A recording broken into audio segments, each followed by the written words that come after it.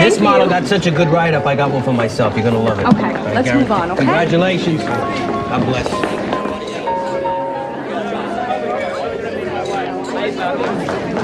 Ron, you look gorgeous. By the way, who's your date? Give Maybe who's your date? Come here. Not yet. Good seeing. Congratulations. Thank you. Melissa was beautiful up Thank you. I there. know. Thank you. Oh, Mama Olivia, como stai, darling?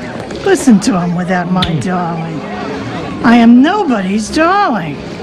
This one here, she never disappoints you, I tell you that. Are you still seeing your other women, Lorenzo? Come on, Ma. Let's mingle. Sorry, the older she gets, the worse she gets. Uh, listen, I I heard some disturbing shit last night. I wanted to talk to you about it. But with the rehearsal dinner and everything, you know, it just, uh, Yeah. I, uh, there's the priest, though. I'll be right Go back. ahead.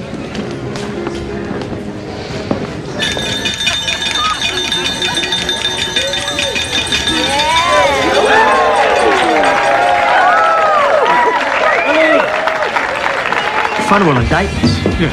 Where the fuck you get this? I got a guy who owes me. He's got a Gomata who works at FBI headquarters as a word processor. Oh, why'd you come down? I don't know. When she knows, she'll tell me.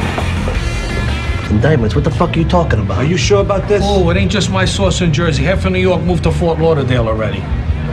Fuck. They're gonna want my ass. Why? What do you mean, why? I'm OC.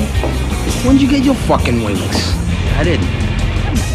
Not yet, anyway. Uncle Junior, got anything you want to say about this? You guys see indictments under your bed at night.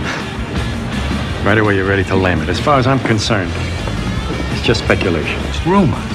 Better be safe than sorry, no? I say we duck for a while. And what are we gonna do? Close shop? We can't do that.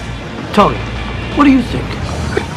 What you asking him for? I just, I just gave you the answer.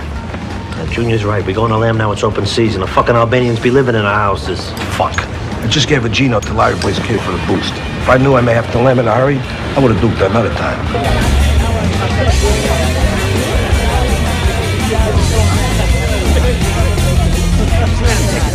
Thank you, darling. Gotta go.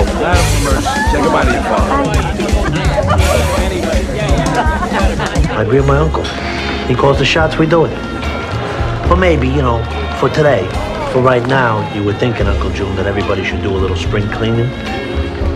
That was my next comment.